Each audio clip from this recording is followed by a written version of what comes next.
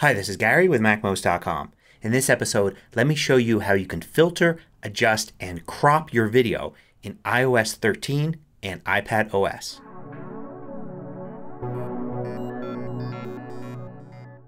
MacMost is made possible thanks to a great group of supporters. Go to MacMost.com slash Patreon. There you could read more about it, join us, and get exclusive content. So an exciting new feature of iOS 13 and iPad OS is the ability to apply the same adjustments, filters, cropping, and other things to your videos as you could do before with just photos. This has gone a little bit under the radar, but I love this feature because being able to apply a filter to an entire video is a pretty big deal and it's so easy to do. So let's start off in the camera app and I'm going to take a quick video. I'm just going to scan my keyboard. So I'm going to record this video and then hit stop. Now I tap on the little preview there to see the video. This is all the same as before but I have the edit button at the top and before I could trim video and you still see the trimming controls at the bottom. But now you also see editing tools on the left. The same editing tools you see if you take a photo. Now let's exit out of here and instead go into the Photos app. So in Photos I could go and look at the video I have. So let me look at a video that I took the other day of some birds flying around in the park and you can access the same edit tools with the edit button. So you can get to these tools through the camera app and through the Photos app just like you can with the photo adjustment tools. So you have four sets of tools here on the left. The first one is just the trimming tools that we had before. But the other three are the same as the photo editing tools. So the first one here allows you to do all sorts of adjustments to light and color. And you have a full set of tools here on the right and you can see what each one is. Now this is new for photos because we could have done this with photos before but it's a big deal to be able to do it for an entire video. Think of it. Every frame of the video needs to be adjusted. So for instance I could just go to exposure here and adjust the exposure of the entire video.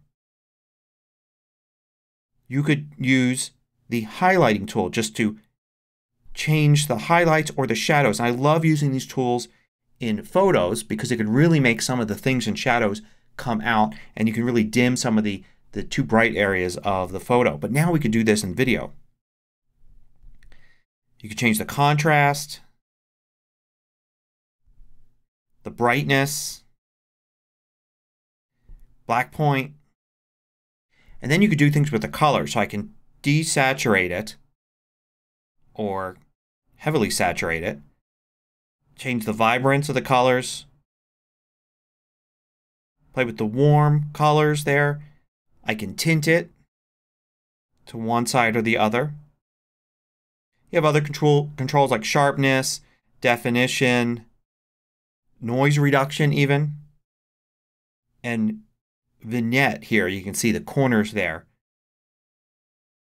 So once you've done all this, I can hit done and it will apply the change to the video. So you see it says saving video. Right? So it doesn't happen instantly like photos. There are a lot of frames in even a short video like this. So just the fact that it does it is incredible. And what's even more incredible is just like with photos, it's non-destructive. So here you can see my bizarrely edited, adjusted video.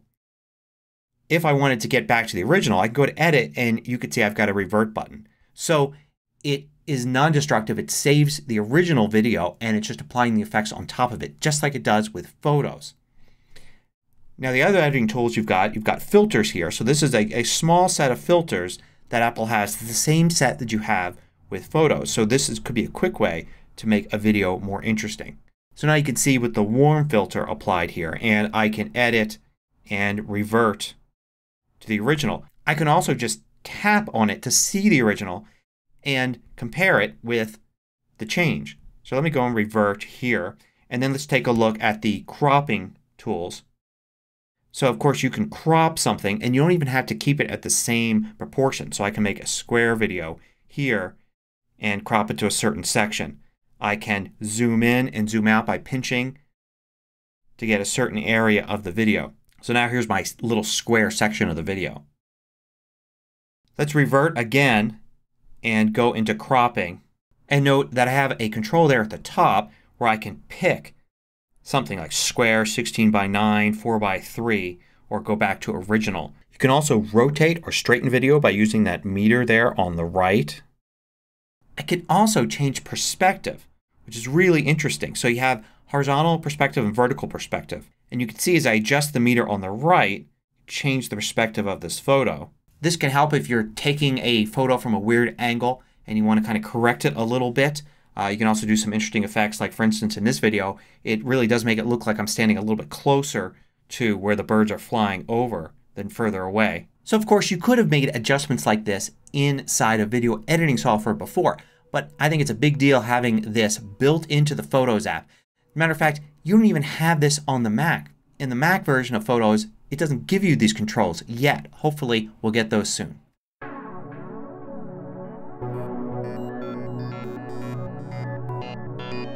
I publish new tutorials every weekday. Hit the subscribe button so you don't miss out. Then hit the little bell icon to get notifications for each new tutorial.